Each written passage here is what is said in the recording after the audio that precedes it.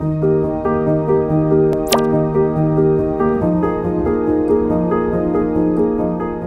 每个阶阶段，你想要过什么生活，我就跟着改变。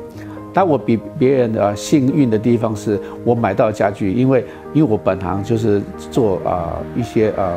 他们叫做人文家具嘛，所以我挑的时候会挑比较经典的、美感比较好的、比例各方面都比较好的、比较实用性的。所以啊，我挑完之后的，如果家里要要不用的时候的，我就可以拿去店里把它卖掉。甚至有时候客呀朋友来我们家里吧，他喜欢我的家具，说哎可不可以让给他？我说好啊，就让给他。然后我再想办法再去找我现我现在我生活想要的啊风格的家具。因为一个房子来讲话，对我们现在房子买都都很贵嘛，所以你你要改变你的房子，其实很蛮大困难。可是如果把家具改变的时候，对，你生活就就心态就不改变。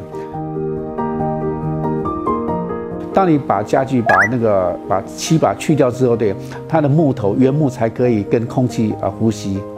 当然刚开始去漆的时候，对，它的木头颜色会感觉比较新，可是。它跟你生活一年两年之后的，其实它的氧化之后的，就跟你呃老家具一模一样。那因为家具来讲的话，去漆之后的，它的感觉会呃重量感比较轻，所以你居住在这个环境里头，一方面你可以闻到啊木头家具的的的味道，而且也会让自己在心情上话的不会那么沉闷。